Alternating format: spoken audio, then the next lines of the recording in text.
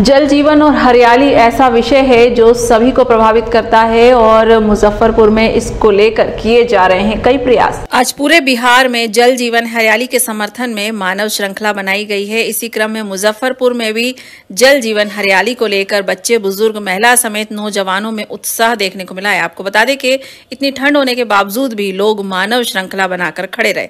शहर से लेकर गाँव तक लोग मानव श्रृंखला बनाने में जुट गए थे। वहीं एनएच पर भी लोगों की लंबी लंबी कतार देखी गई। बिहार सरकार के नगर विकास व आवास मंत्री सुरेश शर्मा ने भी मानव श्रृंखला का हिस्सा बनते हुए हर्ष व्यक्त करते हुए कहा है कि पूरे बिहार में इसी तरह से लोग प्रदर्शन कर रहे हैं। संकट है जो कि विश्व में गहराया हुआ है। जल जीवन हरियाली से ही उसे बचा सकते हैं। मुख्यमंत्री नीतीश कुमार ने भी संदेश दिया है, आज पूरा बिहार कतार लगाकर खड़ा है। उसमें महिला पुरुष सभी खड़े।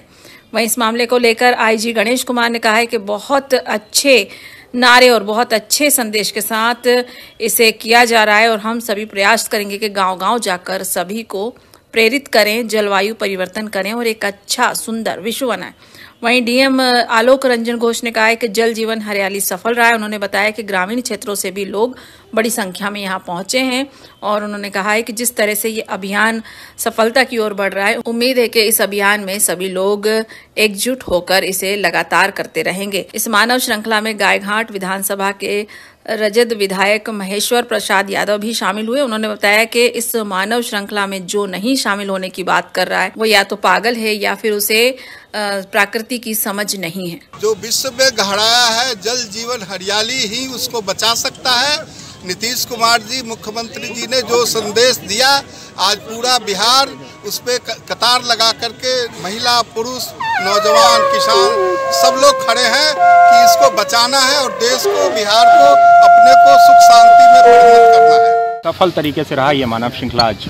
कैसा निश्चित रूप से और जो विषय है वो हम सबसे क्योंकि इतना क्लोज है तो निश्चित रूप में काफ़ी जन समर्थन इसको प्राप्त हुआ है। तो ग्रामीण क्षेत्रों की भी मैंने कल कल कल भ्रमण किया था, आज सुबह भी मैंने किया और काफ़ी बड़ी संख्या में लोग मानव श्रृंखला में सम्मिलित होने के लिए आए हैं। जल है तो जीवन है, हरियाली है तो जीवन है, इस विषय को लेकर जो मानव श्रृंखला बनी हम लोग तीसरी बार बना रहे हैं, लेकिन इस बार का जो, इस बार की जो सहभागिता है पूर्व के वर्षों में जो मानव श्रृंखला हम लोग बनाई है, उससे भी बेहतर है। मुजफ्फरपुर ज़िला जो है, राज्य में अग्रणी ज़िलों में से एक है, जब जब भी मानव श्रृंखला बनाई जाती है।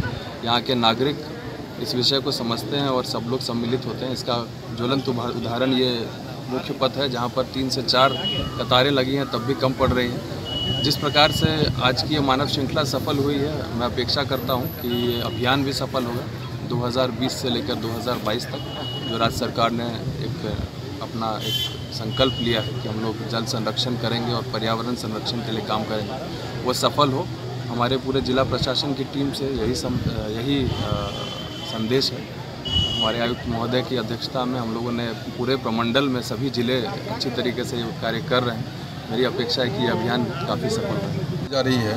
बहुत ही अच्छे नारे और बहुत ही अच्छे संदेश के साथ की जल जीवन हरियाली और हम सभी का ये आह्वान होगा और हम सभी का प्रयास होगा कि इस नारे को गांव-गांव में हर जगह ले जाएँ और सभी को प्रेरित करें कि अपनी वायु कि अपने जलवायु परिवर्तन को रोकें और एक अच्छा और सुंदर विश्व बनाएँ। मानव श्रृंखला में आप आए हैं राजद के होते हुए भी। मानव श्रृंखला सब सफल हो रहा है। मानव श्रृंखला में आए हैं माननीय मुख्यमंत्री नीतीश कुमार जी के आह्वान पर। जो मानव श्रृंखला बना है बिहार में जल जीवन हरियाली कार्यक्रम को लागू करने के लिए यह अनोखा कार्यक्रम है। यह कार्यक्रम जो है, सो न सिर्फ़ बिहार को, देश को और ये दुनिया में यह कार्य, इस कार्यक्रम की सफलता के लिए जो है, सो लोग चाह रहे हैं और दुनिया में संदेश जाएगा। बिहार का गौरव बढ़ेगा इस कार्यक्रम से। माननीय मुख्यमंत्री नीतीश कुमार जी ने बड़ा सराहनीय कार्यक्रम किया है, इसलिए पार्टी चाहे मना करे, चाहे कुछ भी करे, हम इस कार्यक्रम में शामिल हो रहे हैं।